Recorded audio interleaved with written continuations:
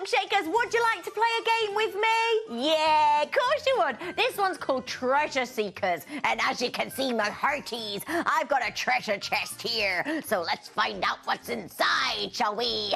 Are you ready? Let's open it up. Oh, and then let's have a little look inside. And what can we find? Oh, I found some sunglasses. So can you find some sunglasses where you are at home? They don't have to be sunglasses. They can be any glasses. Oh, someone's found Grandpa's glasses. Hooray! Yeah, well done. Super. Okay, let's have another look inside the treasure chest. And what's in here? Oh, yes, it's a book. Can you find a book?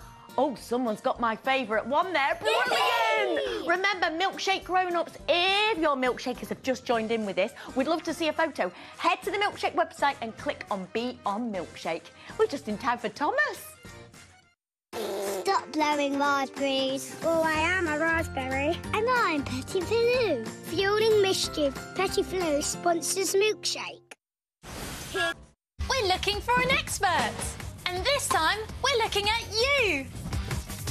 Join us as we find out what you're amazing at.